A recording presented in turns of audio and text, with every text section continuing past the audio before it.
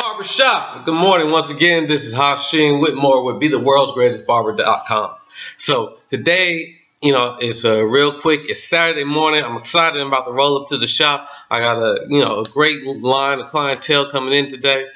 But this morning, it's all about the clientele. This is all about your customers, those people that sit in your chair, those people that really need to hear from a good barber today. So I encourage all barbers out there, listen, uh, soak up as much as you can, and know that when you got somebody sitting in your chair, uh, you know this is this is this is Dream City right here.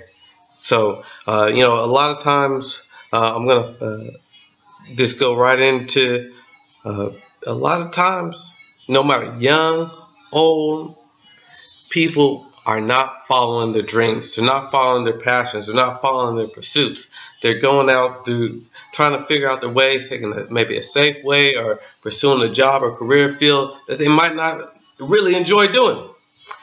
I encourage barbers out there to let their clients know that they can follow their dreams, that they can do whatever they want, that, uh, you know, to encourage them to get off their ass you know, get up every morning with a vision in mind, a goal in mind, something set up to move them closer to that dream.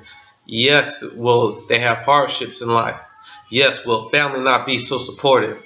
Will other people, friends, not see your vision? Yes, that's a possibility. But what they tell themselves in their mind, what they tell themselves every morning when they get up, every every action that they do and towards their dream, that's what's going to push them through. So if you have somebody or you are that somebody that's looking for that way to, you know, to get from where they're at right now in life to where they want to be in life, I encourage you to follow your dream persistently, aggressively, and continuously pursue it like you've never pursued anything before. Look at your life and find out what you love and say, what will I not ever quit at? What will I not ever slow down? What will, what will not be a part of my life that I said I tried and then it really didn't work out.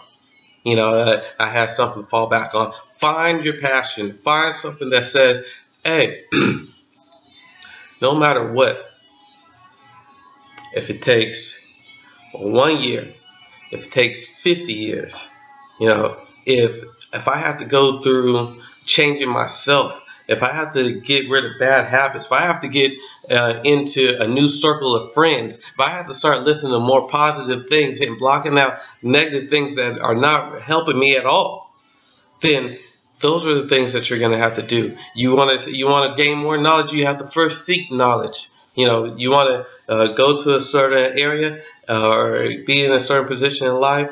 Start studying. Start um, start visualizing what you want. You know, write out a plan. You know, get a get a, get a support group that uh, can uh, you know just continue to encourage you. And to be real honest, you might not have people with you at the start. You might not have people with you saying, "Hey, I believe that you can be." The, the greatest architect of the world, the greatest cook of the world, the greatest um, web designer in the world, the great, uh, greatest musician in the world. You know, but it's what you tell yourself first and foremost. You will attract other people that see your vision uh, later on. People will start seeing in you um, what you see in yourself. So uh, continue to just strive, go at it every day, every morning like you're happy, that you're excited, and make sure that um, you keep all the great principles in life first. You know, uh, the golden rule do unto others as you would have them do unto you. You know, don't ever don't ever jeopardize that, or you know, um, keep your keep your soul intact. You know, because uh, this life, uh, in pursuit of great things, um, you'll be forced with great decisions.